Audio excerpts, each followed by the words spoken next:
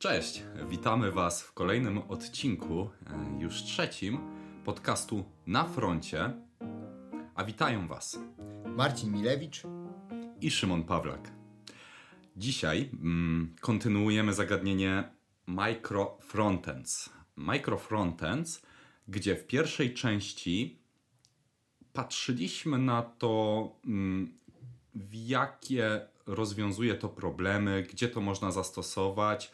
Taką daliśmy ogólną perspektywę na temat, a dzisiaj chcielibyśmy przejść do technologii, czyli w jaki sposób zaimplementować microfrontends, a tego jest dużo. E, ale zanim przejdziemy już do meritum, e, jak zwykle stały segment, a mianowicie co czytaliśmy. Marcin, Ja muszę się przyznać, że od ostatniego odcinka, który nagrywaliśmy, nie miałem szansy nic nowego przeczytać, więc dzisiaj tą sekcję zostawiam tylko Tobie, Szymonie. Tak jest. Ja wiedziałem, ale specjalnie Marcina wywołałem. Więc tak, co czytaliśmy? A ja czytałem em, książkę, która miała mi pomóc w przygotowaniu do tego mm, podcastu. Micro Frontends in Action. Mm, Książka, która już jest na rynku jakiś czas. Jakiś czas jest na rynku. Ja ją zawsze powierzchownie przeglądałem, jeżeli chciałem sobie mm, jakiś temat na szybko odświeżyć, przypomnieć, zobaczyć. Teraz wziąłem i od A do Z przeczytałem. Pokrótce uważam, że bardzo wartościowa książka dla osób, które chcą sobie usystematyzować różne właśnie podejścia, w szczególności techniczne. Nie jest to publikacja idealna. Moim zdaniem zbyt bardzo autor podchodzi czarno-biało do tematu, e, nie przedstawiając odcieni szarości. Mimo wszystko bardzo polecam, tym bardziej jako uzupełnienie tego, co dzisiaj będziemy rozmawiać, na pewno się przyda. Więc przechodzimy do, do meritum tematu, Tak, czyli do ja naszego jeszcze podcastu. mógłbym- Ja jeszcze mógłbym skomentować właśnie, bo też kiedyś czytałem tą książkę i tutaj też zgadzam się z Tobą, Szymonie, że na pewno warto ją przeczytać, ale także nie tylko zostać ze swoją wiedzą przy tej książce, ponieważ też trzeba brać pod uwagę to, że została ona napisana już jakiś czas temu i od tamtego czasu nawet samo podejście technologiczne do implementacji microfrontends dość znacząco się zmieniło. Niemniej jednak nawet te początkowe rozdziały z tej książki bardzo ciekawie wskazują na to, że microfrontends rozwiązuje się za pomocą technologii, ale microfrontends to nie technologia, tylko właśnie styl architektoniczny, styl pracy w zespole, jak i również pewne wzorce, które możemy zastosować. Dokładnie. Ale dzisiaj porozmawiamy właśnie o tych szczegółach implementacyjnych, czyli to, co mamy obecnie na rynku, takiego najpopularniejszego, jak możemy implementować micro frontends. Więc Szymon, od czego chciałbyś Tak jest. zacząć? Wiesz co, jeszcze na szybko przejdźmy sobie przez e, agendę, czyli to, co byśmy chcieli dzisiaj poruszyć. A mianowicie, jak się zastanawialiśmy mm, w trakcie przygotowań do tego odcinka, mm, to nie jest takie proste, żeby przygotować jakąś agendę pod technologię microfrontends, ponieważ niektóre podejścia ciężko zdefiniować, czy to jest server side, czy to jest client side, etc. Ale spróbujemy. A mianowicie agenda. Przeszlibyśmy przez podejście server side, tak? I tutaj w środku też zdefiniujemy sobie edge side, czy- czyli CDN podejście. Przejdziemy do client side i później jeszcze zastanowimy się nad aspektem runtime i build time. Czyli takie technologie. Widzicie, tego trochę jest. Więc osoby, które nie są zaznajomione, em, proszę uważnie słuchać. My sami mam nadzieję, że się nie pogubimy i nie będzie chaotycznie. Taka agenda i zaczynamy. Zacznijmy pro. Aha, i jeszcze bardzo ważna kwestia. Tutaj, jak się z Marcinem przygotowywaliśmy, to musimy nadmienić fakt, że nie ze wszystkimi tymi podejściami mieliśmy komercyjny, e, komercyjną styczność. Proszę wziąć to pod uwagę. Niektóre rzeczy są wia- przez nas poznane akademicko, niektóre przez proof of concept, niektóre tak implementowaliśmy. Tutaj w szczególności Marcin jedno z podejść po prostu implementował w, w firmie. Więc w razie czego my sobie tutaj pozwalamy na to, żeby popełniać błędy, jeżeli będą jakieś kwestie, które po prostu źle powiedzieliśmy, błędnie, śmiało, dawajcie nam znać, ale zrobimy co tylko w naszej mocy, żeby to było prawdziwe i przyniosło dla Was wartość. Więc tak, zaczynamy od server side. E, chcesz Marcin zacząć? Tak, myślę, że tutaj z samym podejściem server-side na pewno ja mam najmniejsze doświadczenie, ale jest to jedna z takich popularnych e, technik w różnych projektach i jeśli decydujemy się na micro frontends, a wiemy, że różne drivery technologiczne naszego projektu wymagają od nas podejścia server-side, to musimy też rozwiązać tutaj pewne problemy implementacyjne. No i tutaj, wbrew temu, co, y, co wiele osób może sądzić, można dzielić tą aplikację w taki sposób, że nawet nie musimy ograniczać się do y, generowania samego kodu y, w podejściu w podejściu build time, ale także możemy to robić na poziomie runtime'u.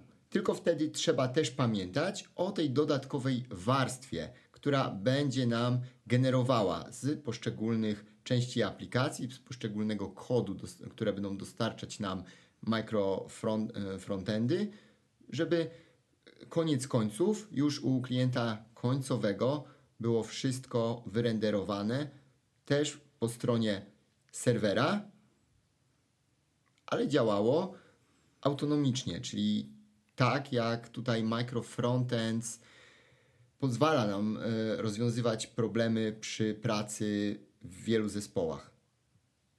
Dokładnie.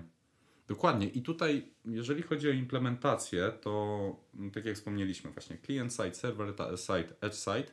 Server side e, to jest, ta, to jest to podejście, gdzie my łączymy te nasze mikrofrontendy, aplikacje frontendowe, żeby oczywiście to tutaj uzupełnić, poprzez serwer. Nie na frontendzie, nie na warstwie frontendu, tylko na poziomie serwera. Czyli nazwijmy to z tyłu, tak? Gdzieś tam under the hood yy, to się tam dzieje. I tutaj, jeżeli chodzi o ten server side, to jest znowu N różnych podejść. Duże firmy w ogóle to implementują. Yy, Zalando, tak, na pewno korzysta z takiego podejścia.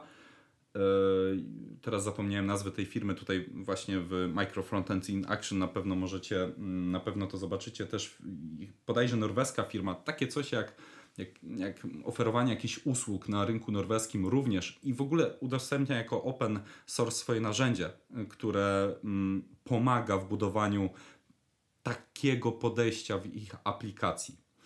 I teraz, tak jak mówię, dużo firm to implementuje, czyli E, to nie jest tak, że, że, że to jest jakieś stare podejście, złe podejście i tego typu rzeczy. Mm. W, tak, w takim uproszczeniu, to co się dzieje, to jest to, że my od strony naszego frontendu definiujemy takie placeholdery w naszej aplikacji, w których mają się pojawić jakieś właśnie inne mikro e, frontendy. To, że uzupełniamy te placeholdery o te mikrofrontendy, tym zajmuje się po prostu serwer w takim naprawdę bardzo grubym uproszczeniu. I tutaj mechanizmy, które można wykorzystać, to chociażby jest e, Nginx, tak? E, zawsze mam problem z wymową tego. E, e, jak, jak ty to, Marcin, wymawiasz? NGN, Nginx. Nginx, tak samo, no nie wiem, tak Nginx, ale... Jest chyba wiele podejść i zawsze... Nigdy nie mam nadzieję, że rozumiecie, mam nadzieję, że wiecie o czym mówimy. E, ja będę korzystał z Nginx i tam mamy implementację SSI'a, która właśnie pozwala nam do na przykład włączenia takiego fragmentu w kod HTML po stronie serweru. I to jest stare narzędzie de facto. To jest stare narzędzie, które, e, które można wykorzystać. I tak jak wspomniałem, są firmy, które budują swoje narzędzia i dodatkowo je udostępniają. Zalando to jest projekt Mosaic i chyba on bazuje, teraz z pamięci jadę, Taylor? Tak, Taylor, Taylor tak, dokładnie, Taylor, Dokładnie. Taylor JS. Y, Sam Mozaik się cały czas rozwija, supportuje też najnowsze podejścia, takie jakby chociażby Next.js, który tutaj nam da, da, daje tą całą warstwę server-side renderingu, ale także możemy tam podpiąć czystą konfigurację webpackową. I to jest to, co mówisz. Tutaj te mikrofrontendy mogą być składane na poziomie samego serwera, czy to będzie Nginx, czy to będzie jakikolwiek inny serwer i gdzie możemy używać różnych markupów do wstawiania poszczególnych HTML-ów, no to z tyłu i tak mamy do czynienia z niezależnymi mikroaplikacjami, które już w danej technologii będą, będą e, tworzone do gotowego kodu HTML, który będzie nam, e, który będzie dostarczany bezpośrednio do przeglądarki i tam renderowany. Dokładnie. Więc to jest pierwszy, e, to jest pierwsza technika, po, powiedzmy, technologia. Ciężko to też nazwać, bo de facto to nie dość, że łączy się z podejściem e, architektonicznym, to jeszcze wiąże się z mm, samym e, podejściem technologicznym, prawda? Ale mm, myślę, że tutaj już warto podsumować tą część, a mianowicie popatrzeć na to z perspektywy mm, plusy i minusy. Tak? I mm, jeżeli mówimy o takim stricte server-side e, tworzenia mikrofrontendów, to mm, trzeba pamiętać o tym, że aplikacja, jeżeli będziemy zmieniać routing, to de facto jest server-side renderowana. My nie mamy takiego, tylko pamiętajcie proszę i miejcie z tyłu głowy, że te techniki można ze sobą mieszać. Tak? Ale jeżeli mówimy o takim podejściu restrykcyjnym, takim strict, e, związanym z server-side, to jeżeli zmieniamy po prostu routing, no to nam się przeładowuje cała strona. Nie mamy tego experience, które po prostu towarzyszy nam przy single page application. Tak? Więc o tym trzeba na pewno pamiętać. E, to jest, to jest minus. Mm, co jeszcze, Marcin, z minusów? Co, co widzisz? Ciężko mi powiedzieć tutaj, co widzę z minusów, bo ponieważ, tak jak mówiłem, ja bardziej mogę, dzisiaj się na pewno bardziej wypowiem Ja wiem, o dlatego musimy metodach w, e, Szybko tam iść. client side. Znaczy, ja widzę na pewno jeden plus, e, bo nie bez przyczyny Zalando tutaj e, mm, rozwija, rozwijało frameworki, takie jak te, ten Taylor JS i tam chodzi głównie o SEO. Dokładnie. Aplikacje, które są już y, tworzone po stronie serwera mogą być dostępne dla botów przeglądarkowych i tutaj w przypadku takich aplikacji typowych client facing związanych z e-commerce, no jest to taki główny punkt, ponieważ jeśli nie będą poszczególne nasze podstrony dobrze stworzone po stronie serwera, no to nie będą one widoczne dla wyszukiwarek. No i tutaj wartość biznesowa bardzo, bardzo spada. Ja tutaj w ogóle mu- też mogę polecić, jak ktoś sobie chce poszukać bardzo ciekawą analizę tego, stworzoną przez mojego znajomego i wyróżnianą na wielu y, konferencjach SEO Tomasza Rudzkiego. Analizę, jak wiele na przykład takie strony jak Nike.com tracą na tym, że nie używały wcześniej, bo już chyba teraz się zreflektowały i używają właśnie server-side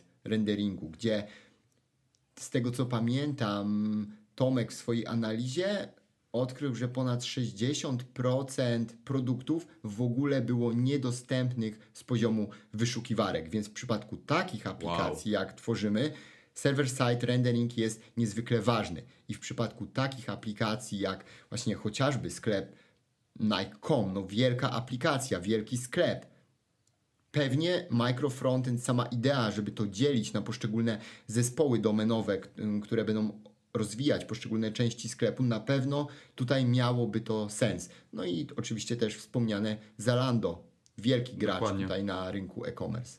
Dokładnie. Amazon też. Tylko, Tak. że do końca nie wiemy, jak oni to robią. Tak. Do końca nie wiemy, ale, ale wiemy, że robią. Tak. E, dokładnie, to są te plusy, Marcin. Z minusów na pewno jeszcze trzeba wyartykułować fakt, że no, wprowadzamy dodatkową warstwę abstrakcji po stronie serwera, czyli frontend developer, taki typowy, e, no ciężko mu będzie to zorganizować, zrobić, tak? Bo to wymaga wiedzy no, serwerowej. To na pewno też jest jakiś, jakiś minus. Y, Rozwiązania, o których będziemy dalej rozmawiać, są bliższe y, frontend deweloperom i przypuszczam, że taki zespół o wiele łatwiej by mógł coś takiego zorganizować. E, Wyczerpany temat? Przechodzimy dalej? Myślę, myślę, że tak. Tym bardziej, że tutaj o tym drugim podejściu e, client side renderingu na pewno możemy więcej powiedzieć. I tu już mamy jest. no, dosyć duże doświadczenie w implementacji, zarówno jak i komercyjnej, jak i różnych proof of conceptów dla projektów, w których Tak jest. pracowaliśmy. Tak jest. No to dobrze, no to tak, ja, ja wspomniałem też w agendzie, że tutaj mamy ten edge side podejście y, CDN-owe, ale to de facto łączy się z tymi podejściami, gdzie mamy właśnie Taylor, y, open source'owe projekty. Mm, Idea jest podobna. Żebyście mieli świadomość na samym końcu, że idea jest podobna, łączymy to w po prostu w warstwie back serwerowej, tak? Tam to się dzieje, czy to jest CDN, czy to jest serwer, nieważne. Tak? Tak, dokładnie. Idea jest w ten sposób po prostu zorganizowana. Tutaj też trzeba powiedzieć, że jest pełno różnych rzeczy związanych z tym, że możemy strumieniowo te framework, y, strumieniowo pobierać te mikrofrontendy, etc., etc. Chciałbym Was zostawić dodatkowo z taką świadomością, że to podejście cały czas się rozwija. I to nie jest tak, że mm, nie wiem, mm, jakby jest archaiczne, bo, bo to było jedno z pierwszych, prawda? Podejść mikrofrontendowych, tak na dobrą sprawę. No jeszcze iframe'ów tutaj nie poruszamy, ale jedno z pierwszych podejść. Nie jest na pewno archaiczne i na pewno ma swoje miejsce jeszcze w dzisiejszych czasach. To moim zdaniem jest mm, warte wyartykułowania. I przechodzimy do, do client side, do tworzenia mikrofrontendów mm, w podejściu client side. I tutaj na samym początku, znowu taka podagenda. Jakie mamy możliwości, Marcin? Myślę, że tutaj możliwości naprawdę mamy dużo, ale dzisiaj ja bym porozmawiał o takich trzech głównych podejściach. Pierwszy to już wspomniany, dość, dość archaiczny sposób, iframe'y. Drugi web komponenty i na końcu coś nowszego, Module Federation. Tak jest. No takie trzy główne, prawda? Jeszcze w tej książce, o której wspomniałem na samym początku, w Micro Frontends, e, autor bodajże mówi o podejściu Ajaxowym, tylko że to, to jest takie client-side powiązane z server-side. Myślę, że pominiemy. E, O, o, o, odsyłamy do książki w razie czego. Na zachętę, żeby całości nie zdradzać.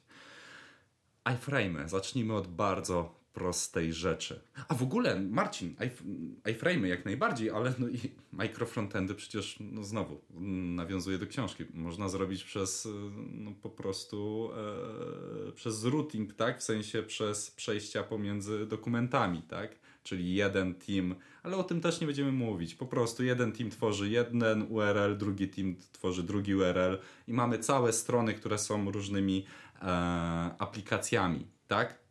Pamiętasz, Tak, jak i to tutaj- nazwał? Jak to nazwał w książce autor? Bo nie pamiętam tego mm, Oj. podejścia, jak on nazwał.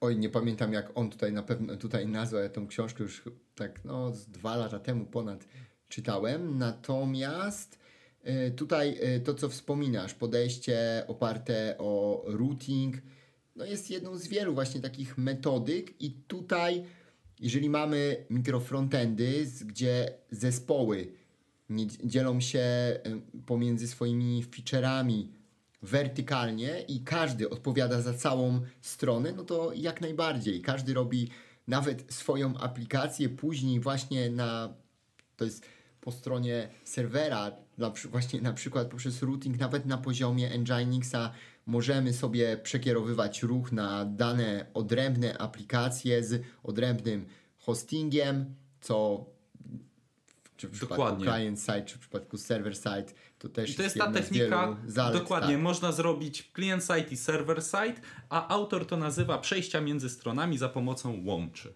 Tak, e, Okej. ale tutaj trzeba pamiętać o tym, że to jest cała strona. My nie możemy mikrofrontendu wsadzić w środek tej strony, co myślę sobie, że jak myślimy o mikrofrontendach, to zazwyczaj, to zazwyczaj z tyłu głowy mamy to, że chcemy mieć coś w środku, prawda? Jakby te widgety. No właśnie różnie. Ja bym. Ja na przykład skłaniałbym się do odwrotnej nawet refleksji. Naprawdę? Ja jak myślę o mikrofrontendach, to bardziej skłaniam się do aplikacji, która ma, jest, y, jest duża, jest podzielona na wiele feature'ów. One wszystkie są jakoś ze sobą spójne, ale stanowią odrębną domenę i mogą być właśnie reprezentowane przez odrębne, zupełnie odrębne strony. I co najmniej w dwóch projektach y, w mojej karierze miałem do czynienia z czymś takim, a jeden projekt był właśnie oparty na iframe'ach. I tutaj taka nawet ciekawostka. Ja wtedy pracowałem jakby w tym jednym mikrofrontendzie, w tej części. Nie miałem nic wspólnego z samą implementacją tego składania mikrofrontendów. Nawet wtedy nie wiedziałem, że to się nazywa microfrontend. Ja w ogóle nawet nie jestem, nie jestem pewny, czy w ogóle w tamtych czasach ktoś użył takiego słownictwa jak microfrontends, ale tak jak w wielu innych dziedzinach w programowaniu mamy po prostu tak, że historia, historia zatacza koło. No, Co oczywiście. chwilę używamy podobnych podejść i tym wszystko się różni tym, że inaczej je nazywamy i one przychodzą do łask, odchodzą z łask. I tak No dokładnie, single page application, później idziemy w server-side rendering. Server-side rendering przecież był 20 lat temu. Kółko się zatacza. Dokładnie. Marcin, y, kontynuujesz z tymi iframe'ami? Tak, tak. iFrame'y. No, myślę, że każdy, kto słucha tego podcastu, wie, co to są iFrame'y, pamięta stare czasy, gdzie robiliśmy jakąś prostą stronę internetową, chcieliśmy zasymulować przejścia pomiędzy stronami, no to wrzucaliśmy ten, te główne ciało strony w iFrame'a i menu przełączało to, co iFrame ma, ma nam wyświetlić. I wszyscy wiemy, że w nowoczesnym developmencie już od dawna odeszliśmy tutaj od tego sposobu, ponieważ jedno single page application wspomniane, jak pojawiły się na rynku, no to wyparły te iframe'y.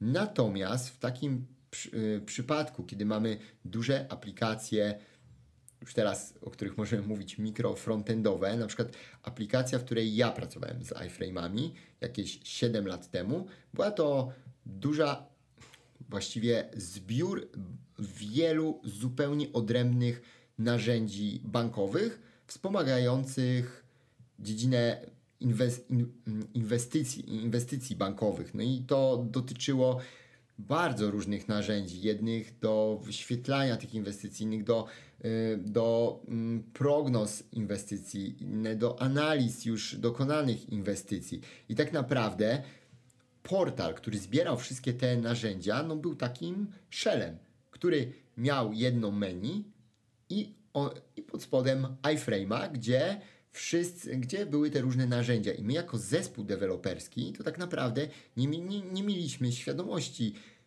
co się stanie z naszą aplikacją. Wiedzieliśmy, co mamy dostarczyć w swojej domenie, dostarczyć tą aplikację, a na, poziomu te, na poziomie tego portalu wszystko było z, autom, z automatu scalane. Dobra, to to jest, to to jest właśnie podejście iframe'owe. No i co? iframe oferuje nam e, na pewno bardzo dużą izolację. Tak? No, jedną z największych.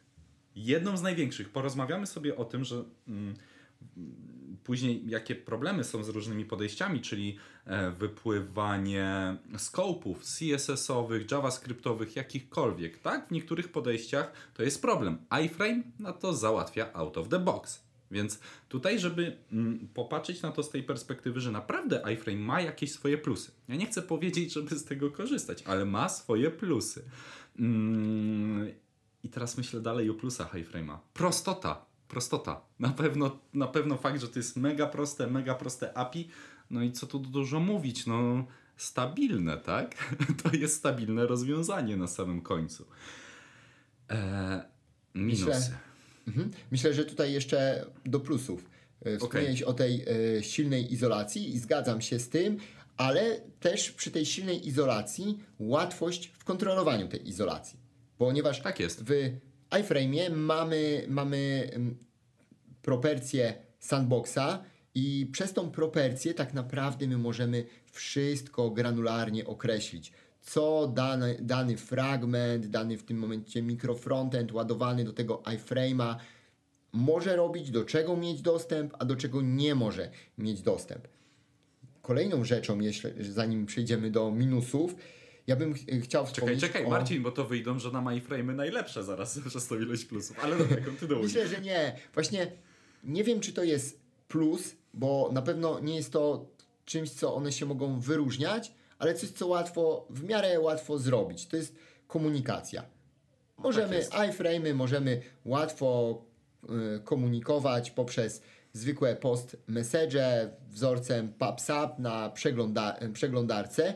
Niemniej jednak, ja bym tutaj nadmienił, że raczej iframe'y bardziej nam się by sprawdziły w projektach, które nie komunikują się ze sobą za bardzo, czyli bardziej Otóż to. Gdzie mamy taki horizontal split, gdzie właśnie mamy powiedzmy menu i nasze body i ewentualnie jakiś footer. Przełączamy na inną stronę, zmienia nam się totalnie body i to jest wszystko. Nie ma tak, że tak, tak, Shared Nothing e, Architecture, też każdy ma swoje tutaj e, swoje własne pipeliny, e, tutaj swój własny deployment. Te mikrofrontendy nie komunikują się ze sobą, ponieważ mm, jedynie jedyna komunikacja poprzez menu, gdzie po wybraniu danego elementu on ma tylko przeładować nasz e, mikrofrontend, a jeśli rzeczywiście taka komunikacja by tutaj miała jakiś sens, albo inaczej, jeżeli byśmy się zastanawiali, jak rozwiązać pewne problemy komunikacyjne, to może wtedy warto by było tu się zastanowić, czy to w ogóle powinien być osobny Otóż to. mikrofrontend. I myślę, że to tyle z zalet iframe'ów, bo wad jest zdecydowanie więcej. Tak, no to lecimy. Uzupełnij, jeżeli coś pominę. Po pierwsze, ciężko e, zarządzać, jak to ma wyglądać w naszej stronie. Czyli jeżeli mamy jakiś responsive e, bądź, bądź mobile e, look and feel, no to de facto e, my musimy znać explicit wielkość iframe'u, tak, żeby to dostosować. No i to jest coś, co muszą znać każde zes każdy zespół, czyli no już musimy coś współdzielić, jakąś wiedzę, jakąś informację. Ciężkie bardzo. Y, Ja nigdy nie musiałem z tym za bardzo walczyć, bo tego nie implementowałem, ale tutaj znowu odwołuję się do, do Micro Frontends in Action, że są jakieś biblioteki, które starają się pomóc, y, ale autor też mówi, że, że nieudolnie. A Więc nie wiem, na jak mocno jest ten temat zaopiekowany, czy nie, ale to jest jedna rzecz. Druga rzecz, performance. Duża ilość iframe'ów i to naprawdę nie mówimy o jakiejś bardzo dużej, tylko myślę, nie wiem, pięć i więcej na, na podstronie już powoduje ogromny performance issue. Po prostu mamy różne osobne konteksty dla, dla naszego doma, które trzeba obsłużyć. Ogromny nakład performance'owy, więc o ile myślimy o tym, żeby mieć N różnych e, widgetów, appletów, jakkolwiek to znał, czy elementów, które chcemy niezależnie e, wsadzać na naszą stronę, no to miejmy na uwadze fakt, że to będzie bardzo proceso-zasobożerne rozwiązanie. E, Co jeszcze, Marcin? Ja tutaj może jeszcze bym skomentował to, o czym e, mówiłeś. Performance, jak najbardziej, e, jak najbardziej zgadzam się. Jeśli zależy nam na performance, no to na pewno nie wybieramy iframe'ów. Stylowanie. Bardzo duże problemy. No. Z tym się spotkałem w projekcie, który dawno temu realizowaliśmy. W iframe'ach jako kontrakt muszą być podane stałe wymiary. Jeśli chcemy tutaj mówić o aplikacjach responsywnych, o aplikacjach, gdzie mamy e, mobile first approach, to po prostu to jest koszmar. Nie jesteśmy w stanie tego zrobić dobrze. I to, to na co to się przekłada, no to accessibility, dostępność. Implementowanie poprawne, poprawnej dostępności według standardów, biorąc pod uwagę, że używamy iframe'ów, to jest też koszmar i nie jest tutaj to takie łatwe. Wszystkiego nie możemy zrobić dobrze i jeśli też na tym nam zależy, no to raczej to nie będzie dla nas dobry wybór. Ok, da radę zrobić te wszystkie rzeczy, żeby powiązać, tylko tutaj trzeba też pamiętać o tym, kto będzie za to odpowiedzialny, bo nagle to. wychodzi, że każdy mamy wiele zespołów domenowych, ale trzeba rozwiązać problemy cross-domenowe, problemy na warstwie scalania tych iframe'ów. No i pytanie, kto ma to rozwiązywać? Kto ma w ogóle pilnować kontraktów pomiędzy tym wszystkim? No i tutaj w minusach to, co wcześniej powiedziałem, też w plusach, ok? W iframe'ach mamy tą, y, możemy łatwo komunikować ze sobą menu, z tym, co ma wyświetlić w innym iframe'ie w body, ale drugi raz, jeśli znowu musimy skomunikować ze sobą iframe'y, no to, to nie mamy za, za bardzo tak dobrej możliwości na to. By trzeba było już z tym także kombinować, to już na warstwie y, shellowej, gdzie byśmy to składali, czyli wychodząc poza domenę, więc tutaj też, jeżeli musimy, no to może to nie jest, y, może nie są iframe'y dobre dla nas, może to nie powinien być osobny microfrontend, jeśli musi się komunikować z innym. I yy, co jeszcze? iframe'y i indeksowanie przez boty. Załóżmy, A, wybieramy, no wybieramy iframe'a z podejściem server-side renderingu dla każdego microfrontend. Myślimy, ok, wszystko jest w porządku, bo mamy zapewnione to dla botów. No bo SSR, tak? Tak. Ale jednak, jak się okazuje, boty nie będą sobie radzić łatwo z iframe'ami, a jeżeli jeszcze dodamy do tego, że będziemy mieć na przykład kilka iframe'ów na stronie, no to w ogóle w tym momencie już boty się pogubią i znaczy no boty nie są w stanie po prostu tego poprawnie i semantycznie przeprocesować, więc też zupełnie to nam odpada. No, Takie chyba... przeciwieństwo, prawda, podejścia server-side kompletne. Mhm.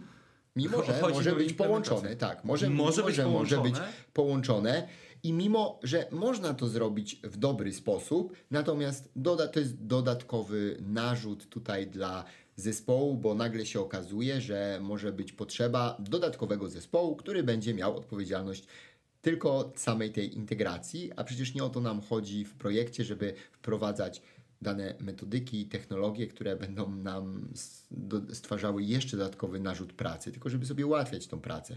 Dokładnie, dokładnie. Co? Chyba tyle iframe'ów, prawda? Marcin, 32 minuty, a my mamy jeszcze dwie kobyły przed sobą. Tak, takie najciekawsze. No to dobra, no to, no to możemy lecieć z web komponentami. Web components, tak okay. jest.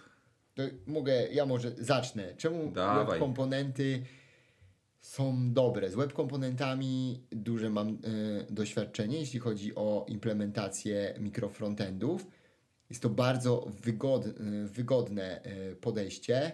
Daje naprawdę duży performance. Przeglądarki raczej to wspierają, ale to też z tymi przeglądarkami i web komponentami to, że to może być i plus, i minus, bo to wszystko zależy od tego, jakie wybierzemy polifile i z tymi polifilami i w ogóle z metodyką, jak załączymy te polifile.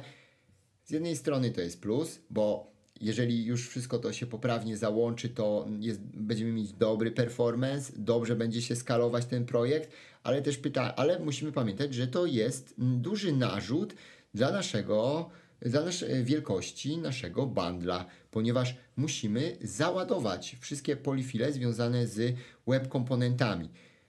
I teraz mamy do wyboru też dwie opcje, że możemy te polifile na przykład ładować wszystkie naraz na samym początku strony, co już tutaj nam opóźni samo ładowanie się strony, albo możemy je ładować w, w podczas interakcji już y, z użytkownikiem. No ale to też wtedy mamy taki e, lazy loading na te polifile, no ale to też wtedy jednak no, zaciągnąć ten kod trzeba.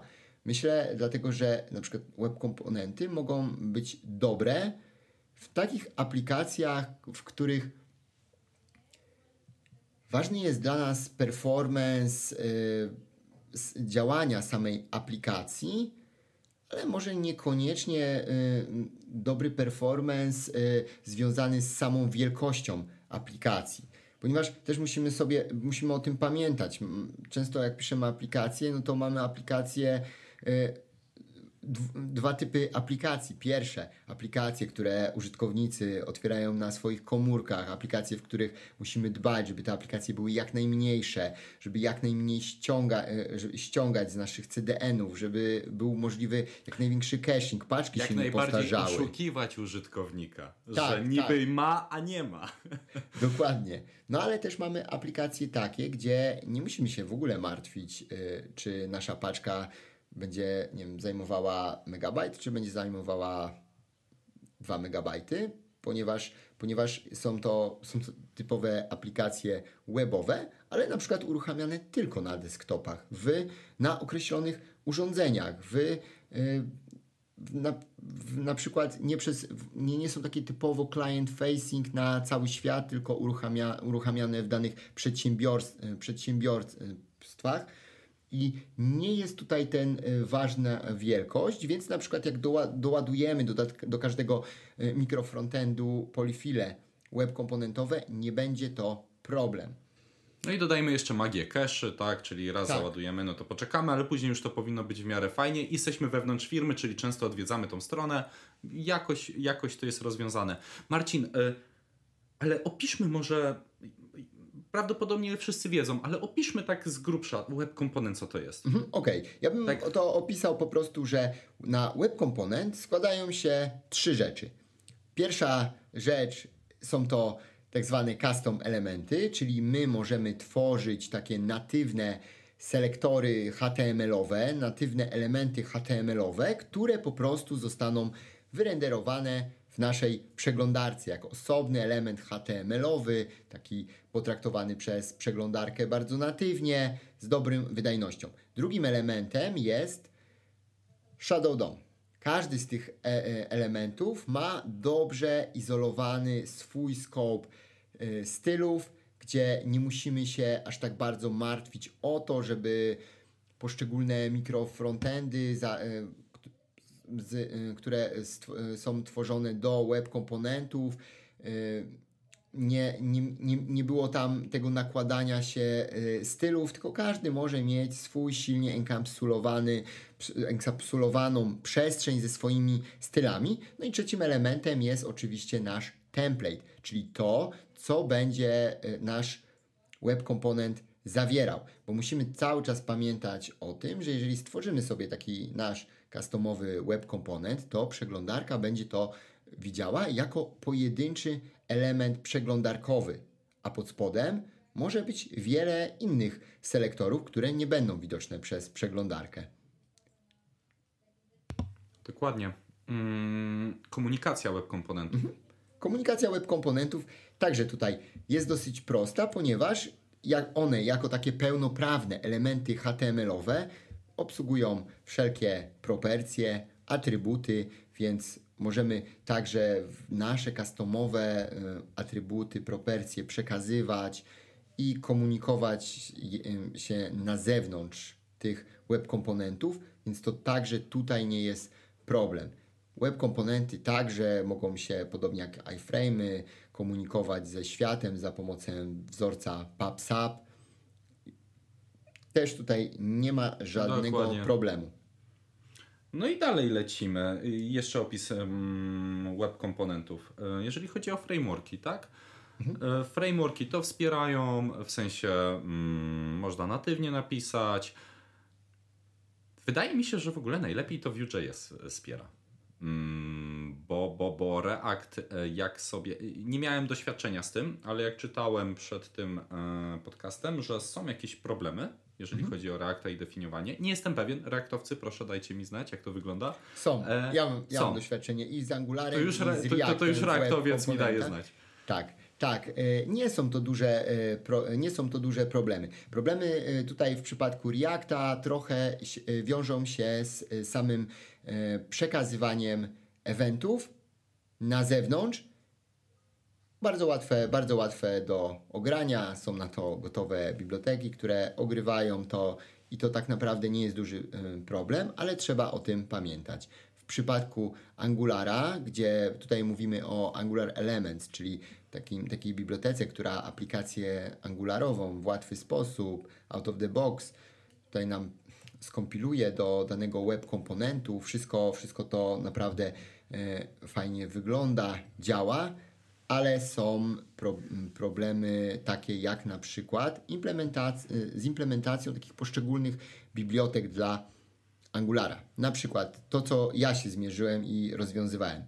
Angular Materials. Angular Materials w niektórych swoich rozwiązaniach opiera się o typowe singletony przeglądarkowe, w których sobie keszuje e, to, co wyświetla. Czyli na przykład, jeżeli tam mamy e, overlay service, on, trosz, on się opiera o to, że jak już coś raz powstanie, Angular Materials potrafi zakeszować i teraz jesteśmy w sytuacji, kiedy mamy dwie, e, dwa web komponenty, dwie osobne angularowe aplikacje skompilowane do, tutaj do Angular Elements i przełączamy się z jednej na drugą.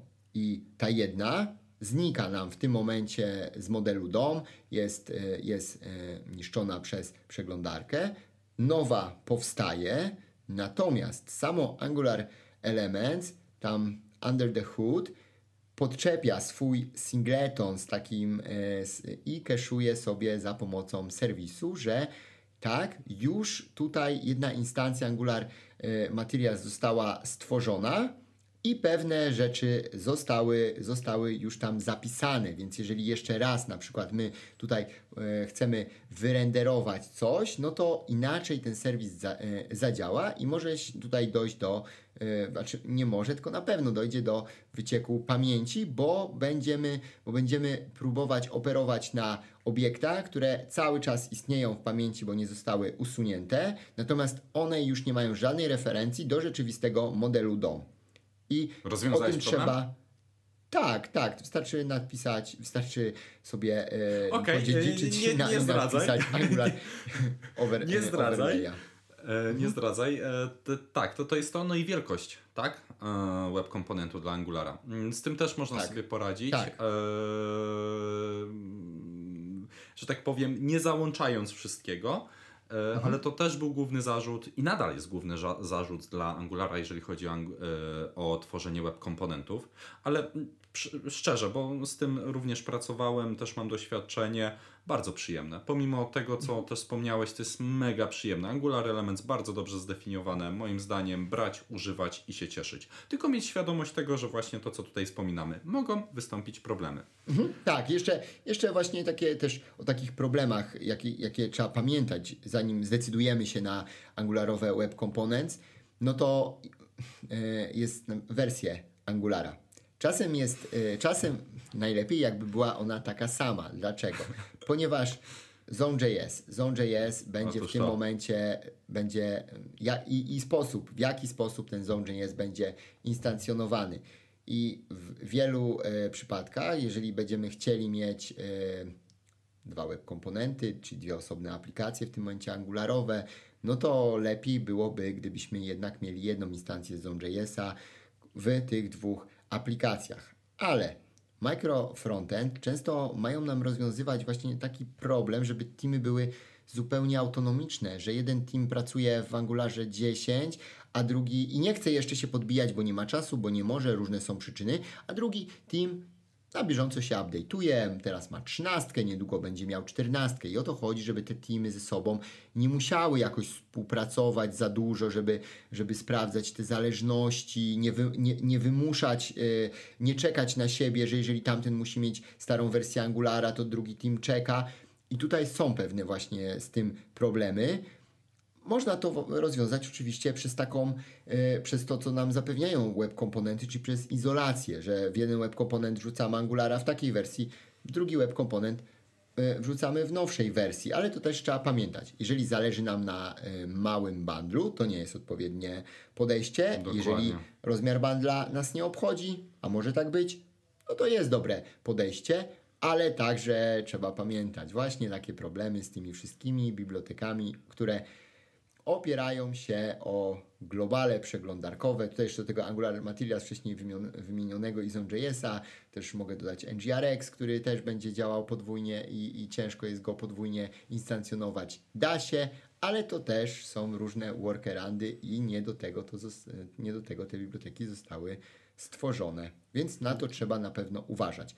Ale w przypadku, tak jak podobnie w sumie jak w przypadku tego, co mówiliśmy o e, mikrofrontendach opartych na routing.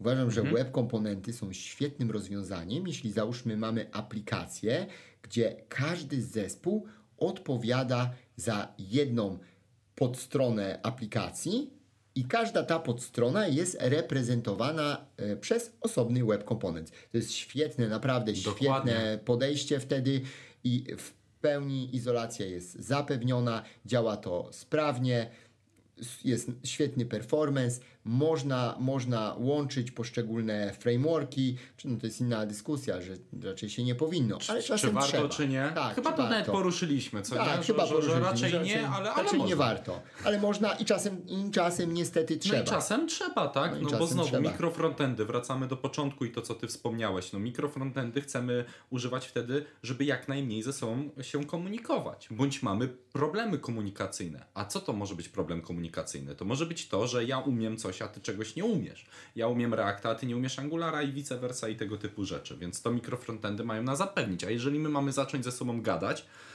no to nie mikrofrontendy, co nie? E, coś chciałem jeszcze dodać e, do tego aspektu. Aha, tak, że web komponenty i odzwierciedlenie całej domeny poprzez routing. D dokładnie, tak, to jest rewelacja, tak. bo mamy super odizolowany scope i jeżeli w waszych projektach widzicie coś takiego, że routing jest odzwierciedleniem domeny, może tak być, to, to jest petarda. Mhm. I pamiętać proszę też o tym, bo to jest bardzo ważne, że web, komponenty mają naprawdę dobre community. Już nie mówię, że per frameworkowe, ale natywne. Moim zdaniem jest bardzo dobrze zrobione. Multum przykładów, rozwiązań i a, no nie było takiej wtopy, gdzie bym wszedł i coś by było wiesz, nie tak jak trzeba. To jeszcze tutaj mam taką w sumie ciekawą refleksję, może kontrowersyjną, ale ja tak, ja tak uważam. I, e, no i nie tylko, nie tylko ja, też jak czytałem książkę o microfrontendach e, od Luki, to on też na to zauważył, e, to też to zauważył tam. Web komponenty, a dzielenie domenowe. I to, co powiedzieliśmy, świetne do odzorowania całej domeny, do, odzorowania całego modułu dużej aplikacji.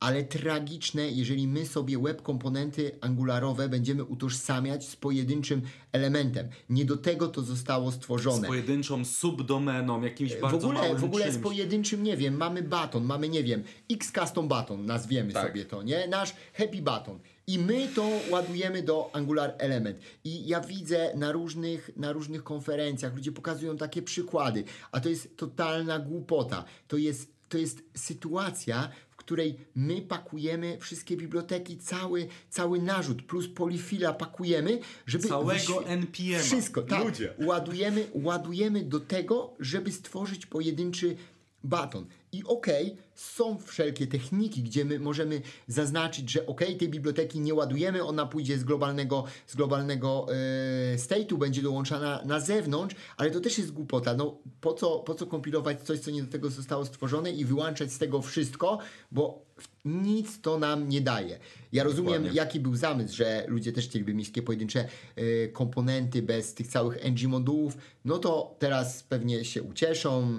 Wesz, weszło, wszedł RF, RFCEC do y, standalone komponentów, do Angulara poza ng modułami. Zobaczymy, jak to się sprawdzi, w jakich, w jakich sytuacjach więc niebawem będzie ok, ale... A to o tym nie słyszałem. Tak. To ciekawe. Muszę mhm. sam zobaczyć. No to niedługo ten. RFC jest, RFC jest tak? gotowy okay. i e, będzie, będzie, będzie to implementowane. Ale nigdy, i tutaj trzeba na przykład uważać, bo wybierzemy sobie ideę microfrontends, zgodzimy się, że web komponenty, Angular Elements będzie dobry dla naszej aplikacji i nagle zaczynamy dzielić tą aplikację na nie wiadomo ile tych web komponentów, że tutaj, tak jak powiedziałeś, nawet subdomena to już osobny web komponent. Nie, to zupełnie nie jest do tego. To, to w ogóle wtedy to y, jak nagle może się okazać, że zaraz nasza aplikacja, y, że nasza aplikacja to będzie już miała kilkanaście, kilkadziesiąt megabajtów ładowanych do y, samego scope'a w runtime i to, to już, to już nigdy nie będzie dobre, więc web komponenty tak, do całych domen w Angularze, web komponenty nie do pojedynczych komponentów. To trzeba sobie postawić tą jasną Marcin, to ja w takim razie a po, po, to poruszę jeden punkt. E, nie wiem, czy to się łączy z mikro e, frontendami, ale dobra. E, jesteśmy poza czasem, to już przeciągamy bardzo jak tylko można. A dobra, a powiedz, co myślisz o design system, o bibliotece komponentów, gdzie mhm. właśnie chcemy stworzyć bibliotekę komponentów, która będzie framework agnostic. Mhm. I wtedy bardzo często przychodzi do głowy, no właśnie, wykorzystajmy web komponenty. No okay. i mamy osobne batony, inputy i tego typu rzeczy. Mhm, okej. Okay. I to jest ok. I dla mnie, dla mnie jest to e, jak najbardziej e, akceptowalne podejście, tylko róbmy ją w pełni. Framework agnostic, czyli no. piszmy czyste, czyste, web komp e, czyste web komponenty, okay. dostarczane jedną, jed, załóżmy jedną paczką, gdzie polifil będzie tylko raz dostarczony i w środku my będziemy mieć rzeczywiste takie web komponenty czyste, natywne, bez tego narzutu frameworkowego, ale nie w drugą stronę, że jeszcze dodatkowo Rozumiem. do frameworka będziemy pakować 300 kilobajtów e, Reacta czy 300 kilobajtów Angulara. No to tam teraz, teraz przesadzam, bo to są mniejsze, nie, no wiadomo, ilo mniejsze ale... ilości, mniejsze ilości. E, już znacząco ten, te frameworki obydwa się zmniejszyły. E, ale, ale tak, jeśli czysto, to tak. No, no nawet, no, nie wiem, React plus Style Components na przykład trochę ważą. I, i, i zresztą po co? Po co wrzucać y, framework do web komponentu? To okay. jest coś osobnego, a nie, że my tam do środka wrzucamy frameworki całe. Nie, musiałem poruszyć taki... temat, bo wydaje mi się, że to jest coś, co, z czym często się spotykamy, tak. jeżeli chodzi o design systemy. Yy, trochę mikrofrontendy to przypomina, ale, ale, tak, ale... Nie, i to jest świetne. I tu wydaje mi się, to jest świetne wtedy podejście, ale to, to jest zupełnie też troszeczkę inne, prawda, podejście, bo tam no, mamy dokładnie. te czyste i, i to i e, tam nie ładujemy frameworku w środku, i, a sam polyfill jest raz ładowany i taki design system daje nam cały, powiedzmy, zestaw takich komponentów. Dobra. Podsumujmy szybko web komponenty i lecimy do Module Federation. Mhm. Eee, minusy web komponentów. Minusy web komponentów, czyli to, że musimy e, ładować, no to co ty teraz też polifile. powiedziałeś?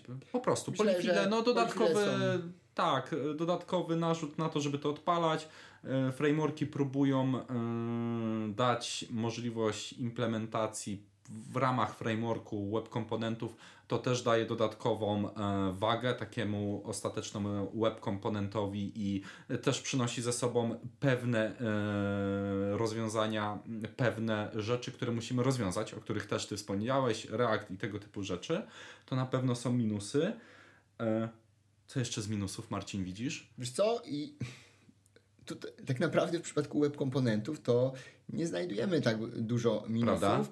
Natomiast e, jednak jako taki e, minus podsumowujący to dodałbym to. Trzeba uważać, uważać jak to dzielimy, żebyśmy nie byli, tak. nie popadli w tendencję, że będziemy ładować nie wiadomo ile tych web komponentów, które będą nam odzwierciedlać jakieś pojedyncze, granularne rzeczy, jeżeli pracujemy z frameworkami.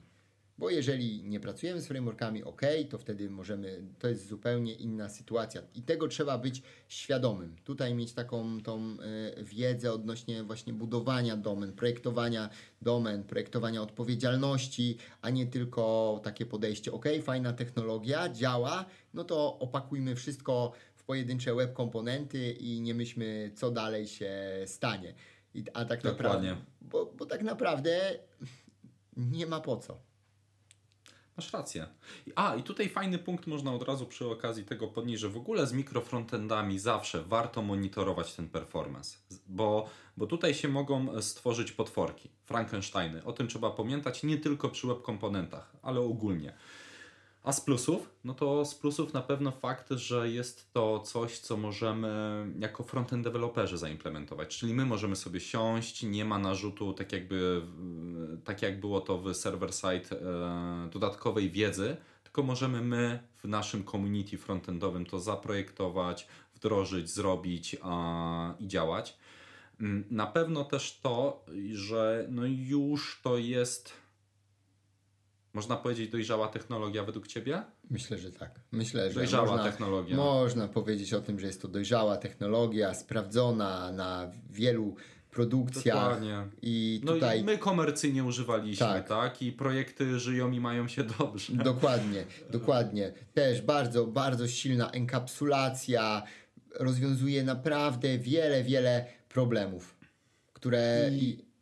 I tak, jest... jeszcze z plusów to tutaj dodam, że jest to natywne rozwiązanie, czyli nie jakiś bypass, nie coś, co sobie wymyśliliśmy, wiecie, że bazujemy na czymś tam, co do de facto nie zostało do tego stworzone. Nie, to zostało do tego stworzone. Natywna technologia, która przez długi czas dojrzewała, bo to jej w ogóle wdrożenie naprawdę trwało długo.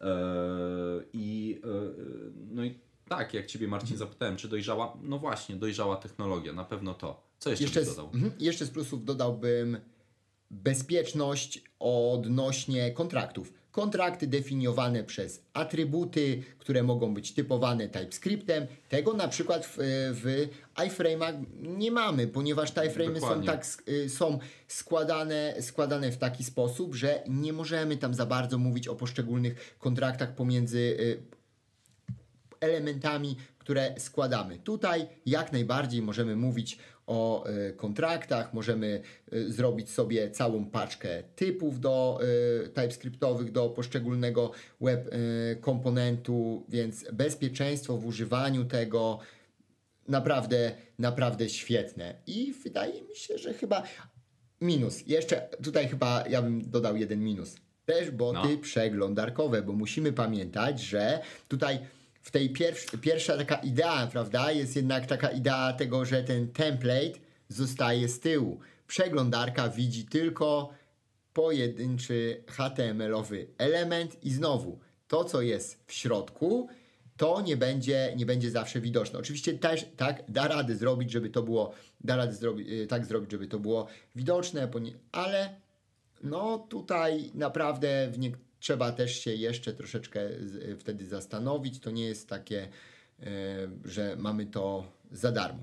Że działa out of the box, mhm. dokładnie, dokładnie. Szymon, widzę, że rozgadaliśmy się o tych technologiach. Mieliśmy mówić jeszcze o Module Federation, a tak naprawdę te Module Federation jest chyba tutaj najobszerniejszym tematem. I więc najciekawszym, tak, tak mi się wydaje. Więc... Zostawimy sobie na jeden odcinek? Wiesz co? Myślę, że tutaj nie zawiedziemy naszych słuchaczy, jak poczekają troszeczkę i byśmy zrobili kolejny odcinek, który będzie tylko poświęcony Module Federation. No ponieważ wierzę w to, że Module Federation tak naprawdę jako coś wschodzącego w tym momencie na nasz taki rynek frontendowy, jako coś, co naprawdę zmieniło reguły gry, w, w, microfront, w microfrontends, ale nie, nie tylko, tylko, ale nie tylko. Dokładnie, dokładnie. Bo Module Federation to nie microfrontends, ale jest niezwykle użyteczne. Zostawmy na następny odcinek. A teraz przejdźmy do szybkiego podsumowania,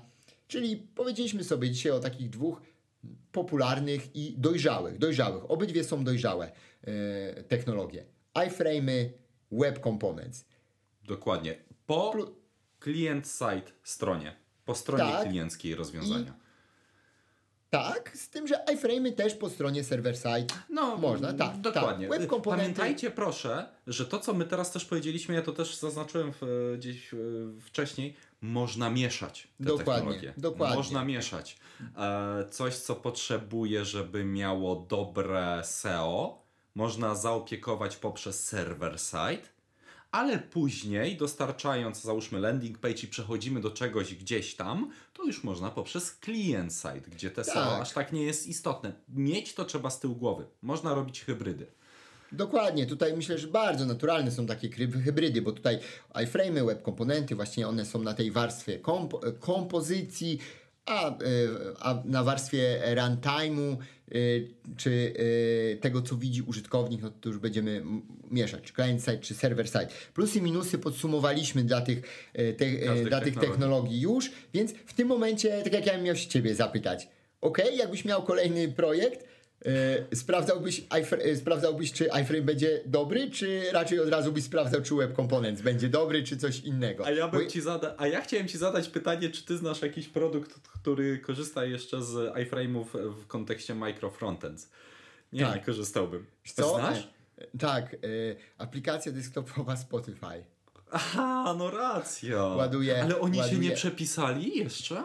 Wydaje mi się, że ta, ten desktop nie. Ten desktop ładuje, ten desktop ładuje. Masz do- rację. z- I to nawet z- właśnie, no to przecież z tej książki, e, no, nawet I- można się dowiedzieć. Zapomniałem, masz rację. Tak, więc, y, więc myślę, że y, no też pewnie jak jest jakaś już duża aplikacja, dojrzała, działa, ma te iframe'y pod sobą, no to też tam raczej takiej dużej wartości, jeżeli to wszystko działa, jest podzielone, no to nie ma wartości przepisa- przypisania dla samego przepisania, bo no bo no nie, nie No o to dokładnie. chodzi w y, tworzeniu To aplikacji.